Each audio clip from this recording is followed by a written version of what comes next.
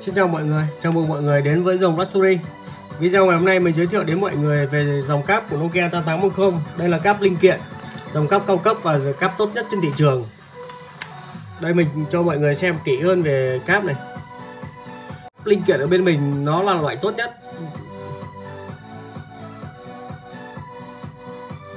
Đây Bây giờ mình mời mọi người xem cáp nhé. Đây sợi cáp tất cả phôi này của nó nó gần như là giống riêng luôn Và thứ hai là loại Phôi cáp này được sản xuất dòng cao cấp nhất, tốt nhất trên thị trường hiện nay. Từ chân connect rồi tất cả mọi IC và mọi thứ cáp này cực dùng bền. Cáp này dùng khá là bền, dùng tối đa mọi người có thể dùng được khoảng 2 năm. Còn nếu như mọi người dùng bình thường thì khoảng tầm 1 năm thoải mái.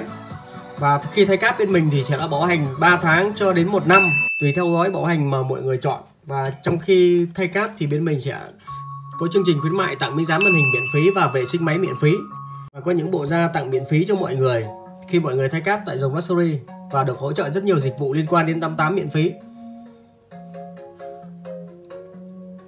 Đây là sở cáp linh kiện ở bên mình. Và nếu như mọi người ở xa mà muốn mua cáp thì bên mình sẽ hỗ trợ, hướng dẫn mọi người cách thay cáp tại nhà. Đây, khi mọi người thay cáp ở nhà thì bóc cái lớp màu xanh này ra là xong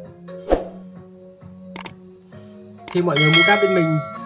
Khi mọi người mua cáp bên mình sẽ được hỗ trợ rất nhiều liên quan đến dịch vụ Nokia 8800 như được chạy phần mềm miễn phí, được tặng ra và được bảo dưỡng. Rất nhiều thứ miễn phí. Và khi mọi người ở xa thì có thể được hướng dẫn và tư vấn cách lắp đặt về dòng Nokia 8800 này tại nhà. Bên mình có video hướng dẫn.